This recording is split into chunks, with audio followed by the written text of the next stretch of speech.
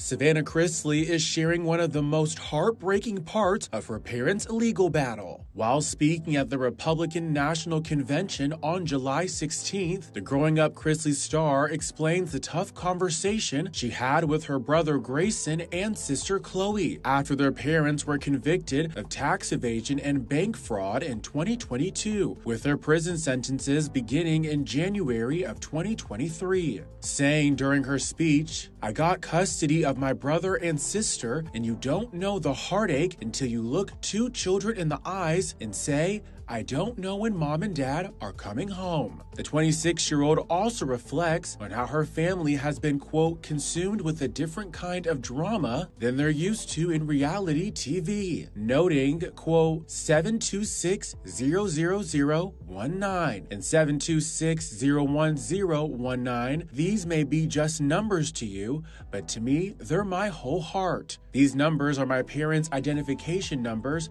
in our federal prison system. Savannah has been caring for Grayson and Chloe since their dad was sentenced to 12 years behind bars and their mom was sentenced to serve seven in their tax fraud case. However, Julie's sentence was overturned in June when a three judge panel determined there wasn't enough evidence to show she had been involved in the scheme before 2007, which began in 2006. Following the news of their mother's vacated prison sentence, Savannah took to her Unlocked podcast on July 2nd to give fans an update on Julie coming home.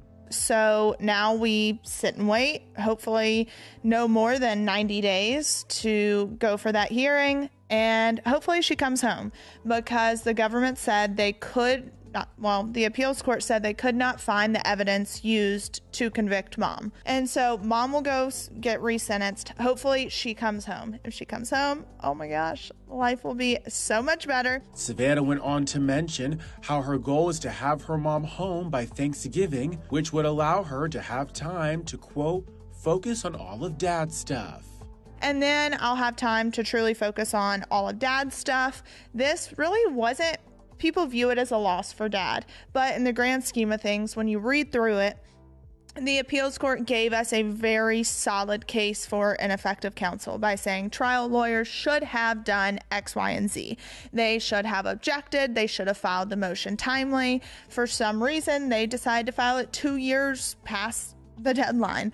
Um, so none of that really makes sense to me, especially when you spend an absolute fortune. I want to say around probably $5 million on a legal defense at trial, and this is where it gets you.